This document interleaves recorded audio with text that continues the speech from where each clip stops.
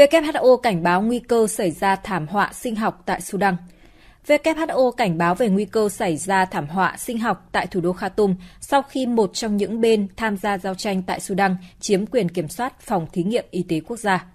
Giao tranh tại Sudan đã hạ nhiệt vào tối 25 tháng 4 khi quân đội Sudan và lực lượng bán quân sự đối lập nhất trí ngừng bắn 3 ngày, cho phép người dân Sudan nhanh chóng sơ tán lánh nạn và nhiều nước sơ tán công dân. Tuy nhiên, Tổ chức Y tế Thế giới WHO cảnh báo về nguy cơ cao xảy ra thảm họa sinh học tại thủ đô Khartoum sau khi một trong những bên tham gia giao tranh tại nước này chiếm quyền kiểm soát phòng thí nghiệm y tế quốc gia, nơi lưu giữ mầm bệnh sởi và bệnh tả.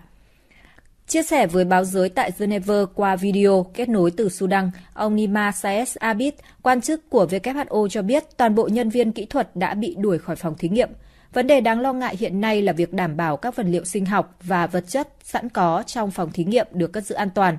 Ông từ chối cho biết lực lượng nào chiếm giữ phòng thí nghiệm. Giao tranh giữa quân đội Sudan và các lực lượng hỗ trợ nhanh RSF nổ ra từ ngày 15 tháng 4 đến nay đã khiến nhiều khu vực dân cư thành vùng chiến sự, cướp đi sinh mạng của ít nhất 459 người và trên 4.000 người bị thương.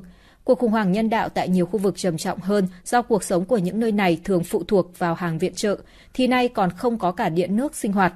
Nhiều nước đã nhanh chóng sơ tán nhân viên đại sứ quán khỏi thủ đô Khartoum. Ngày 25 tháng 4, Anh đã tiến hành một cuộc sơ tán công dân quy mô lớn, sử dụng các chuyến bay quân sự từ một sân bay phía Bắc Khartoum. Pháp và Đức cho biết mỗi nước đã sơ tán trên 500 công dân nhiều nước khác nhau. Người dân địa phương cũng đã tranh thủ thời gian, giao tranh tạm lắng để chạy khỏi nhà sau hơn một tuần bị kẹt lại. Họ lo ngại giao tranh tại Sudan sẽ trầm trọng hơn sau khi người nước ngoài rời đi.